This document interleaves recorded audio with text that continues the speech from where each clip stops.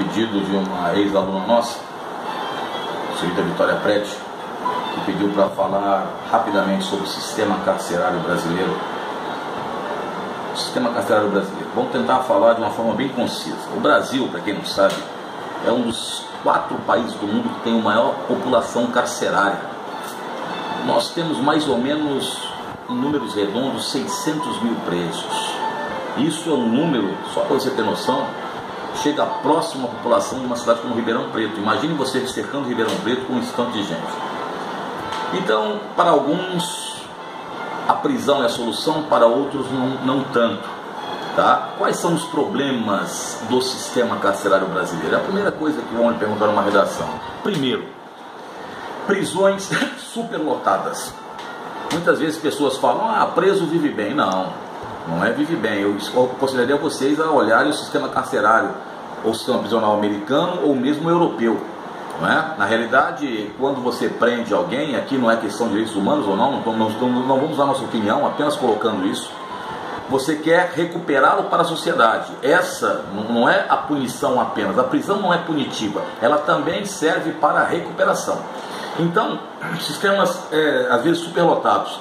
Segundo problema, problema estrutural mesmo, prédios antigos.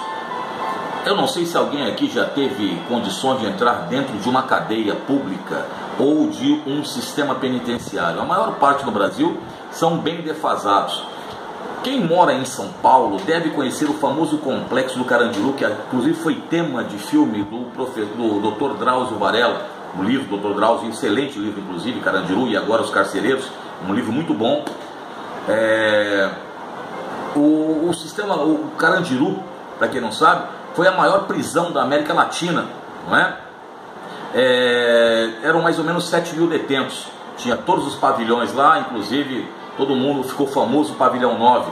E na realidade, aqui colocando, o pavilhão 9 não era o pavilhão que tinha os presos mais perigosos. Na realidade, o pavilhão que tinha os presos mais perigosos, se não me falha a memória, era o pavilhão 7, né? que eram os presos já de, antigos que sabiam como é que funcionava as leis da cadeia. Então, o, o próprio Carandiru, ele juntava dentro ali daquelas estruturas antigas uma quantidade de presos muito grande, era, era a população de uma cidade. Aí depois, o que acontece? aconteceu aquela famosa rebelião, a famosa massacre do Carandiru com 111, 111 presos, né? que foi até antes das eleições, até os Racionais têm uma música sobre ela, né? sobre Estou Mais Um Dia, sobre Olhar, sobre Nário do Vigia, então assim, escuta essa música dos Racionais que é, um, é uma declaração ali do que aconteceu naquela, naquela data, na época do governo, na, na, época do governo, se não me falha a memória, posso estar enganado, Fleury. E aí, é, o Carandiru foi fechado, né? Foi fechado e tal. Hoje você tem lá a penitenciária do Estado, a penitenciária feminina e o antigo centro de observação criminológica naquela região. O, o foi ativado, hoje é um parque naquela região. Então, presídios mal estruturados. Controle dos presídios geralmente por facções criminosas. Não é segredo de ninguém que grande parcela dos crimes hoje são, do Brasil são controlados dentro de prisões. Seja aqui em São Paulo, aqui no, no, no, no oeste paulista, as, as prisões lá da, dos presidentes, né, Venceslau, Bernardes, que tem a cúpula do primeiro comando da capital, que é a organização criminosa mais bem é, estruturada do Brasil, até você tem no Rio de Janeiro os complexos de Bangu e outros, comandados pelo Comando Vermelho, disputando com o terceiro Comando Puro e com ADA a disputa de presídios. Então, as facções, há pouco tempo atrás tivemos conflitos na região norte e nordeste por territórios. Você sabe que o PCC, primeiro comando da capital, ele quer é, aquelas áreas, porque para controlar tráfico de drogas e de armas. O Nordeste para o PCC hoje, por exemplo, para quem não sabe, é uma região estratégica pela proximidade de Estados Unidos e Europa e contrabandos que ali se fazem. Então, o controle das facções nas prisões, eh, funcionários às vezes mal preparados, e alguns, alguns, veja bem, dentro de corrupção e outros com medo, porque quem trabalha em cadeia sabe e quem tem família sabe que muitas vezes sofre ameaças internas que não há proteção, infelizmente, para a família daqueles que ali estão junto com os presos. Então, o sistema carcerário brasileiro, tem, também é, a junção de presos com penas totalmente diferentes. Se não me falha a memória, foi Mário Covas, agora Alckmin, não sei, que fizeram aqui em São Paulo alguns presídios é, para determinados tipos de, de, de, de crimes. Por exemplo, o indivíduo que é estuprador, todo mundo sabe, não pode cair de forma alguma num, num, presídio comum. Então existem presídios em São Paulo separados pela, pela gravidade da pena, que é também é, um, é uma, um tipo de solução. Bom, e que solução nós poderíamos dar a isso? Né? Bom, primeiro, a solução que você deveria dar a isso seria, alguns dizem, por exemplo, começar a rever o Código Penal. Muitos indivíduos que estão presos por crimes leves, né, contravenções ou crimes leves, poderiam estar nas ruas, fazendo o que? As penas alternativas. Seria uma solução.